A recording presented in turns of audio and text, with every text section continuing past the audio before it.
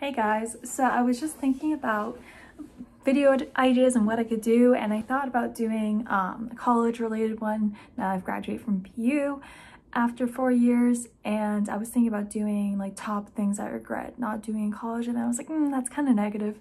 Uh, so I then kind of flipped around and here's this video of top things I don't regret doing in college. So if that interests you just keep on watching and we shall start um, from 10 to 1, I guess. Um, no, I need my glasses on. I'm too blind to see this. Okay, so starting with number 10, and these are kind of grouped in some kind of like topic. So first is like kind of academic wise. So with number 10, it might be shocking to some people, but not having a 4.0 GPA, I don't regret it at all. And the reason being for that is I feel like when I first entered college, I was like kind of coming off of that high school high where you needed to get all the best grades, get into college and everything. Um, but then I realized grades aren't everything, especially my senior year. Um, or really the semester before when I studied abroad, my spring semester junior year, I realized that grades aren't everything and that I was spending so much time studying for these exams and everything that was kind of missing a whole chunk of being at college, especially being on campus there was so much I wasn't taking advantage of and I didn't really have a lot of like solid memories to reflect back on. So my senior year is really when I stopped stressing out so much about grades and I'm definitely happy I stopped doing that, especially since my senior did end a little abruptly and short. Um, and even I know you might be thinking, what about jobs, about internships? And while GPA should be good, um, people don't want like this perfect robot and things like experiences and soft skills are really important to people as well because there's going to be a ton of people with really good GPAs but if you can kind of um, differentiate differentiate yourself by having really cool experiences or getting involved in a bunch of really great things that matter to you that's a better way to kind of set yourself apart. And I end up graduating with a 3.0 3.3 I believe GPA and I still got a really good job that I'm looking forward to so you can do it all without a really perfect GPA.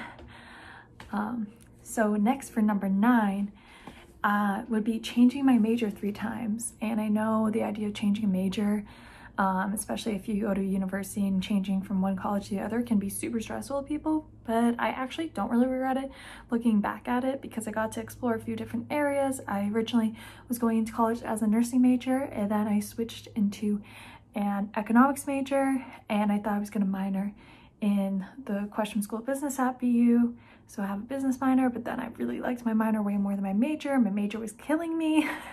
so I then ended up switching and graduated with a major in business administration. And then also within that, you have a concentration you can choose. And I changed that a whole bunch of times too. Um, because I thought I needed a certain concentration to get a good job or whatever. But really, I ended up going with the one I was passionate about, which was law. And I don't regret that at all because it gave me classes to take that I really, really enjoyed, especially this last semester. I really got to dive deep into the whole area of law. Now the next kind of area is more so about friendships, relationships, all of that fun jazz. So with number eight, the thing I don't regret is not joining a sorority. This is something I really thought I really wanted to do my freshman year. Then I held off until sophomore year, spring semester to go through the whole recruitment process. And that's what made me realize that maybe this isn't the best thing for me. I wasn't happy with it. I thought I had to act a certain way to get into the sororities, especially any like top sororities, you know, that whole thing. But I, yeah, I just felt myself trying to act a certain way to get into them. And like looking back at it, I've had so much more like free time to kind of explore and meet people naturally, more organically. And also that would have set me back a whole lot of money because I don't know about your school, but the dues at Boston University, even without having um, sorority houses at BU are still really expensive. And I'm glad that I didn't put, throw all that money into sororities and buying stuff for your little and whatnot. Um, yeah, because as is with my students' loans, and enough money has already been spent so I do not regret that and I'm sure if you don't join a sorority, you will also be able to make friends no matter where you are. However, I do know in Southern schools, it's much more of a thing. So this is all just from my experience and things I don't regret at my school. Uh, going on to number seven, making new friends every year, kind of every semester. I really don't have an experience where I was like best friends with my first roommate while I was at a different school, but also, yeah, that didn't last very long. um, and from people of my freshman, sophomore year, really too much. I don't really keep in contact with those people, not because anything really happened with most of those people, it just kind of drift apart because you are changing so much in college.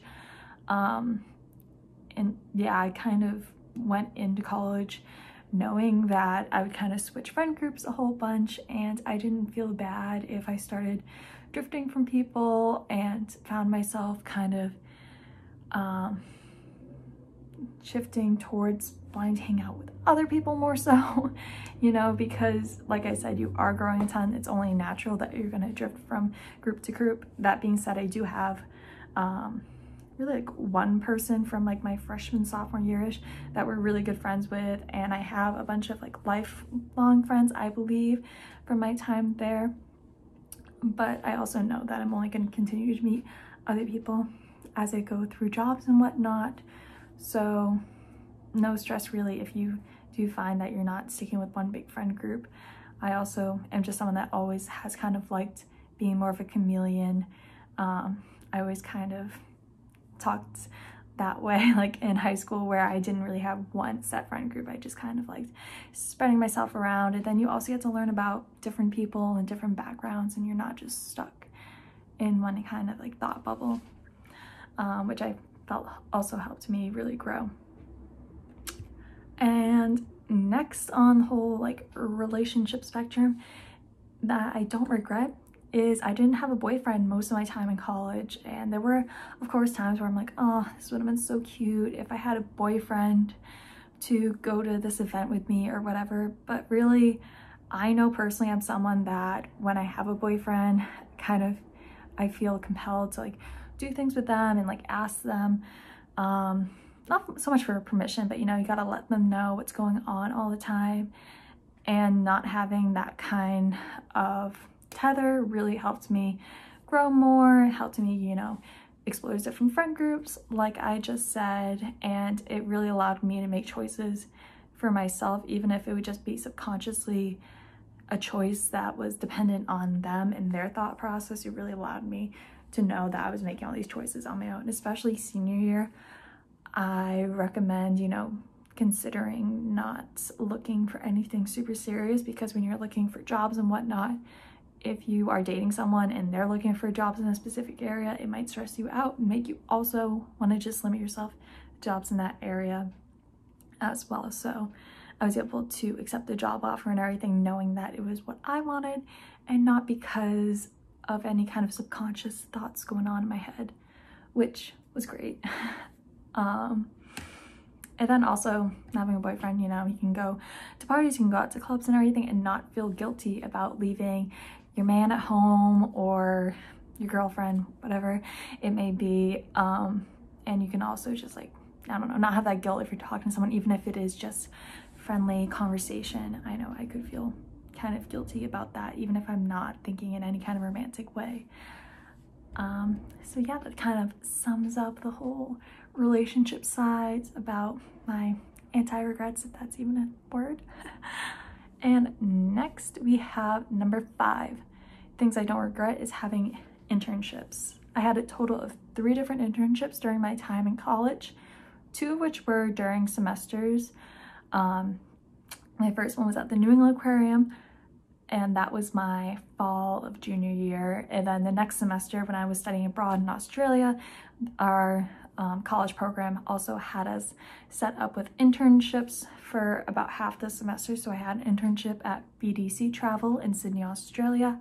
And then right after that one, I had an internship at National Grid um, over the summer. And I know three can be a lot to some people, but it really did help by putting them uh, during semesters as well. And I know that can be a lot to handle, but I feel because of my financial situation, I wasn't able to fully commit and like, you know, pay for rent in the city and whatnot to have an internship. And Boston is a place where there are tons of internships. So I liked being able to just kind of, I was already paying for my housing to go to school. So also having that housing to have an internship just worked out financially really well for me and just logistically well. Um, so that's something I would definitely explore. And also my first internship was a nonprofit, so I didn't get paid for it, but I would definitely recommend exploring different options and different scholarships, whether scholarships are with your school or with the program that you're interning with, whatnot, because there are scholarships out there that will help you give you grants to uh, complete those internships if you do need to get paid, because that was something I was definitely worried about. So I got a grant, so it was almost like I was getting paid to do that internship, but I got that money up front, if that makes sense and then those internships um, more so than just upping your resume they also are ways for you to feel really productive and explore your interests and I also made great friends at each of my internships so I would definitely definitely recommend it. Next we have number four and that would be becoming an RA. Not only was it a great on-campus job for me, sorry if you can hear noise outside, got some loud people in the neighborhood. um, not only was it a great on-campus job for me and it was more meaningful um, to me, the work, than working in the dining hall and it also was more, much more minimal work than other on-campus jobs. And I know RA positions at different colleges can be really, really different. So definitely explore what exactly an RA job at your campus looks like. But for me, it also really helped out with my finances because it paid for both room and board completely. So that saved me a ton of money um, for my senior year. I was an RA, but also the other RAs in my neighborhood on campus were really great and I got a ton of great friends. Like most of like my go-to friends now are all people I was just RAs with. So I really, really loved the experience and I kind of wish I did my junior year, but I couldn't because I was study abroad and I wouldn't have given that up. So definitely explore it as an option. Number three, more about on-campus housing is I don't regret staying in on-campus housing for all four years of my college experience. It saves time on commuting and you're also just on campus all the time. So you have more time to socialize with people uh, and you're more kind of encouraged to attend school events because you don't have to think about going back to campus like you're always there.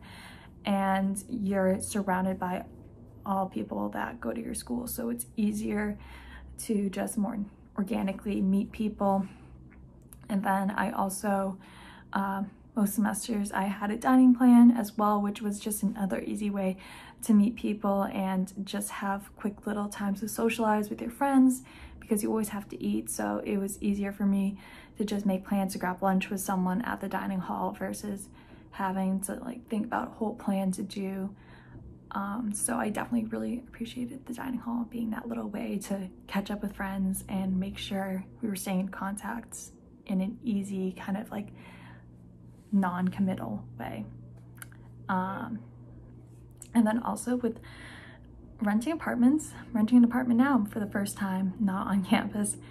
And it's a lot of time and hassle finding a place, first of all, that fits all of your needs and your budget. And then you might have to find roommates. The company I'm renting through luckily sets me up with roommates, so I don't really have to do that part of it. Um, but paying bills and dealing with landlords, I've heard some horror stories. So even though it might be more expensive to stay on campus, you gotta weigh the pros and cons and sometimes it might end up being about the same money anyways when it comes down to utilities and commuting and whatnot so definitely fully weigh your options when thinking about housing um, during college for number two we have that classic college kid study abroad changed my life but yes my number two thing I don't regret doing in college was studying abroad. I studied abroad in Sydney, Australia, and it was the best time of my life. I got to live in Sydney for four months, and I never ever would have thought I would do something like that. Um, it was kind of a last second decision, but I'm so happy I did it. It, first of all, saved me a bunch of money. It was cheaper for me to study abroad in Australia than it was to stay on campus. And that also, it still was cheaper for me to have that experience when I include all my trips that I took there too. Like I went and explored basically the whole east coast of Australia, went to Melbourne, I went to um, Cairns where the Great Barrier, Great Barrier Reef is, and I scuba dove, scuba dived, mm, scuba dove, scuba dived? Hmm not sure that one, but in the Great Barrier Reef. And I went to Fiji for a weekend. I went to Thailand and that was cheaper than me at BU. And I definitely would say it was kind of more fun. we have the number one thing I don't regret doing in college, transferring colleges. If you want a whole bunch of detail into this whole experience, I do have a video on my channel that you can go find about transferring from Seton Hall to Boston University. I did so after my first semester and I'm so happy I did not wait any longer because I love that I had basically my whole experience at BU. If you don't waste time at a place you don't like, if you know you can be happier and more successful elsewhere, um, yeah, I just knew within a few weeks that it wasn't the right fit. I just had a feeling and I figured I might as well apply to some other schools, see where I can get in. And I got into Boston University, which is academically more challenging, which is what I wanted. It is in right in Boston. Seton Hall was um, is in New Jersey, right outside New York City. I thought I would love being in New York all the time, but I just found myself getting to be an angry and angrier person. Um, yeah, it just wasn't the right fit for me personally. If you go there and love it, power to you.